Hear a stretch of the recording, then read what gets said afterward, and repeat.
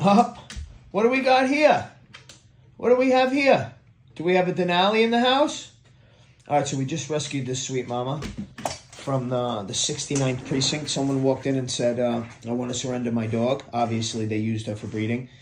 And when the cops said, well, what we do is we take him to the shelter and uh, the shelter's most likely going to euthanize her. He said, uh, yeah, I'm okay with that, and handed her a leash and, uh, and walked away. So they butchered her ears, as you can see. Uh, she definitely had litters of puppies, maybe, probably just recently. And uh, they just gave her away. And when they said uh, she'll be killed, I'm okay with that. So, look at this girl. So, cropped ears, throw away mama. Chances of her getting out of the shelter are less than a percent, just like Miss Peaches. Thank God she got saved and this one too.